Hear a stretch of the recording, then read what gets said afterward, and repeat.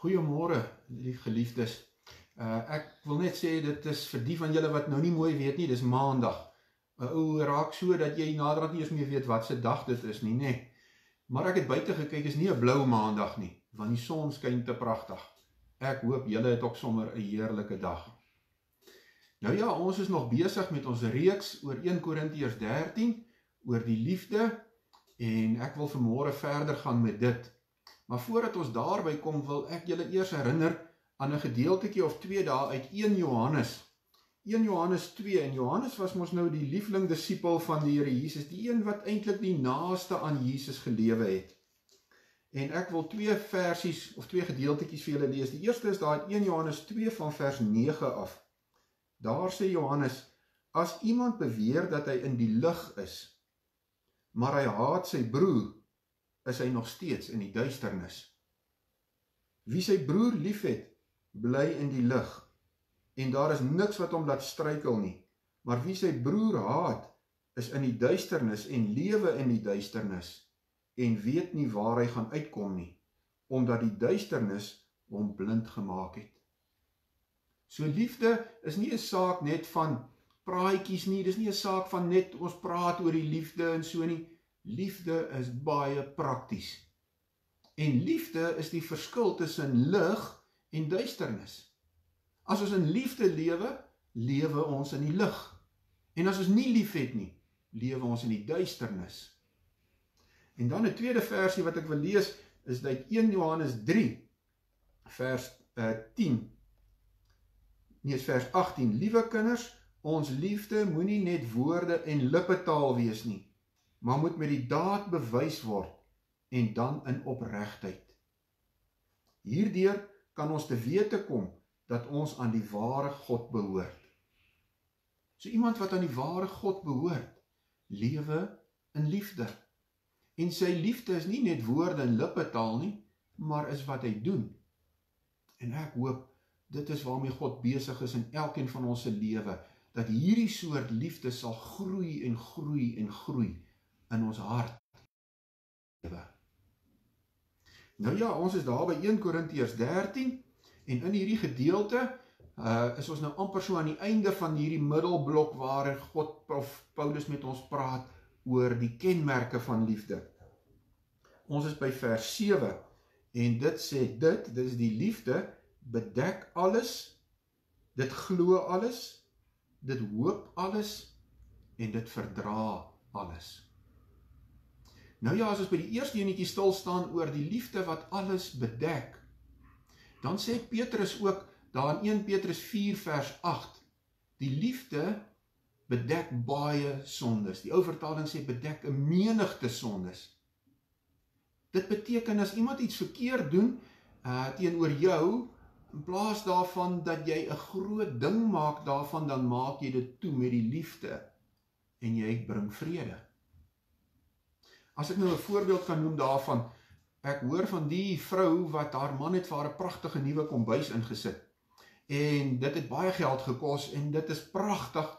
Die nuwe werksoppervlaktes en alles is so mooi, maar net so 'n week nadat dit ingesit is, is sy eendag besig om 'n paar goedjies te stryk en so in gedagte sit sy die strykyster op die nuwe werksoppervlak neer. En toe sy hom weer optel, toe sit daar 'n strykystermerk op daai splinter nuwe werkoppervlak en sy was baie ontstel en nogal bang oor wat haar man gaan sê. Maar toe hy by die huis kom nadat sy vir hom dan eers nou 'n bietjie koffie gegee het om hom dan rustig te kry, toe vertel sy vir hom en sy gaan wys hom en toe hy dit sien, toe sit hy arm sy arms om haar skouer en hy sê: "Toe maar my vrou, enige mens kan 'n fout maak." So het hy haar oortreding met sy liefde toegemaak. Nou ek moet sê as dit in my huis gebeur, weet ek nie, ek dink dit vra bo menslike liefde om dan so te reageer. Maar die waarheid is, ons kan, want Jesus lewe in ons. En daarom vriende, wat se oortreding iemand anders ook al teenoor jou doen, in plaas daarvan om daai ding groter te maak, om daarvan 'n ding te maak en dit teen daai persoon te hou, maak dit toe met jou liefde. En dit is wat liefde doen het ons hier leer leer ons nou hier van Paulus. Die tweede ding is die liefde glo alles. Dit beteken hy wil graag die beste glo van ander mense. Die liefde is nie gou om slegte en negatiewe goed van mense te glo nie. Inteendeel, hy wil graag die goeie van mense glo. Kom ons sê nou maar jy kom op 'n plek by 'n nuwe werk of so en die mense sê vir jou hierdie vrou is vreeslik hooghartig. Dan moet jy dit nie glo nie. As jy haar beter leer ken, dan kom jy dalk agter hierdie vrou is eintlik vreeslik onseker.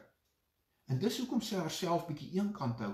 Dis hoekom sy so stil is. Dis nie omdat sy regtig dink sy's beter as ander nie, maar sy sit eintlik met 'n selfbeeldprobleem. Of mense sê vir jou hierdie persoon is vreeslik bekleierig. Maar jy doen moeite om bietjie vriende te maak met hierdie persoon en soos wat jy met hierdie persoon dieper gaan en hom leer ken, kom jy agter hierdie ou sit eintlik met 'n vreeslike seer kry in sy hart en hy weet nie hoe om dit te hanteer nie. Daarom is dit belangrik dat ons nie gou moet wees om slegte goed van mekaar te glo nie. Inteendeel dat ons mekaar die voordeel van die twyfel sal gee en graag die beste oor mekaar sal wil glo. Die derde ding waarvan Paulus hier praat is, hy sê die liefde hoop alles. Dit beteken ek wil graag ander mense of van hulle verwag. Ek wil graag glo dat daar iets goeds uit hulle sal kom. En as ek nou 'n storieetjie kan vertel om dit te verduidelik, dan is dit die storie van Tony. Tony was 'n probleemkind in die laerskool. En die onderwysers het in die in die personeelkamer oor hom gepraat met mekaar en hulle het vir mekaar vertel hoeveel moeilikheid Tony gee en hoe 'n probleemkind hy is. En hulle het regtig baie oor hom gepraat en en toe die nuwe jaar begin en Tony kom in sy nuwe klas, toe ontvang die onderwyser nou die nuwe klas by hom en hy ontvang hulle so een vir een en dan vra hy wat is jou naam? Dan sê hy baie welkom in my klas en dan wys hy vir die kind waar sy sitplek En toe dit by Tony kom en hy sê: "O, is jy Tony? Ek het al van jou gehoor. Mannetjie, kom sit jy sommer hier reg voor my lesenaar dat ek my oog oor jou kan hou." En wat sê dit vir Tony? Hoop en verwag hy van hom moeilikheid. En raai wat gaan hy kry? Moeilikheid. Maar kom ons sê nou Tony kom by 'n ander onderwyser in die klas en hierdie onderwyser verstaan van die liefde en van God se beginsels. En toe hy by Tony kom, Toe sê hy: "O Tony, ek is so bly jy's in my klas." En hy gee hom 'n drukkie en hy sê vir hom: "Kom sit jy hier by meneer se lesenaar. Meneer het 'n paar werkies vir jou wat ek graag wil hê jy my moet help." En elke kort kort dan stuur hy Tony iewers heen of hy gee hom een of ander werkie om vir hom te wys: "Tony, ek vertrou jou." En mettertyd begin Tony se hart verander en wil hy graag goeders doen wat meneer laat glimlag. Want hy weet hierdie meneer verwag die beste van my. Hy hoop ek gaan die regte ding doen. En dit het 'n geweldige krag, vriende, as ons goeie goed van mekaar verwag, dan help dit mekaar om sterk te wees en die regte ding te doen. En dis waarvan Paulus hier praat. Die liefde hoop alles. Die laaste een wat hy hier noem is die liefde verdra alles. Dit beteken wanneer mense verkeerde goed doen, slegte goed doen aan my, dan verdra ek dit sonder om liefdeloos te wees. Ek wil met julle deel die storie van 'n sendeling en ek kan nou nie sy naam onthou nie, maar dit was 'n Amerikaanse sendeling wat in Irak was. En hulle was al op pad uit die land uit toe word hulle gevange geneem. En hy beland in die tronk. En daar word hulle elke dag gemartel. Elke oggend word hulle na 'n kamertjie toe geneem en hy sê daai kamertjie se mure was vol bloedmerke soos ouens daar gemartel is en dan word hulle geslaan en geskok allerhande goed gedoen om te probeer om die waarheid uit hulle uit te kry. En dit was vir hom so erg dat hy naderhand na 3 maande daarvan nie meer kans gesien het daarvoor nie. En hy het al beplan hoe gaan hy sy eie lewe neem want hy kan net nie meer hierdie ding vat nie. En toe hy die derde keer probeer om sy eie lewe te neem, maar hy kan net nie daai laaste stap neem nie. Toe val hy daar op die grond neer en hy begin huil en hy sê: "Here, ek kan nie meer nie." En skielik is dit asof die vertrek gevul word met lig. En hy sien 'n figuur en hy weet dis Jesus.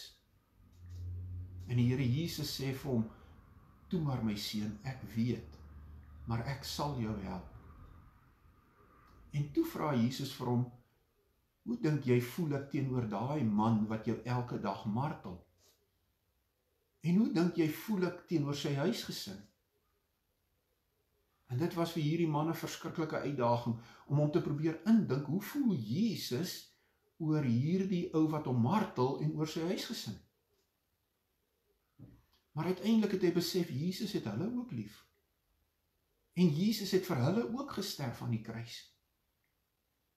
En die volgende keer toe hy na die kamertjie toe geneem word om gemartel te word, voordat die ou iets kon doen, toe sê hy vir hom: "Meneer, as dit dan nou die res van my lewe so moet wees dat ek elke dag hiernatoe moet kom en gemartel word, laat ons ten minste vriende wees." En hierdie ou kyk hom aan asof hy nie kan glo wat hy sê nie. Hy sê: "Maar, maar dis onmoontlik." Hy sê: "Nee meneer," en sy hande is geboei en hy steek sy hand so na hom uit toe. Hy sê: "My naam is, kom ons sê nou maar George." en hy kyk jou so vas in sy oë. Hy sien skielik skiet daai ou se oë vol trane, maar hy hou sy hand net so in 'n sekere minuut gevat.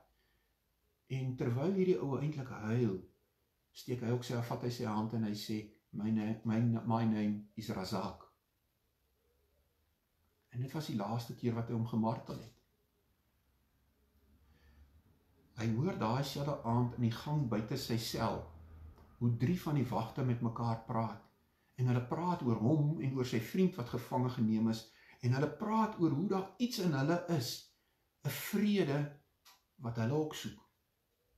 En daar in die gang sê sê die drie wagte vir mekaar dis die God wat hulle aan En daar in die gang sê hulle ons wil hierdie God leer ken.